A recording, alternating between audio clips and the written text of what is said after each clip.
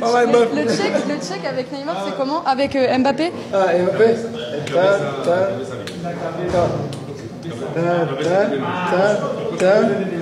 Ok. Prochaine fois.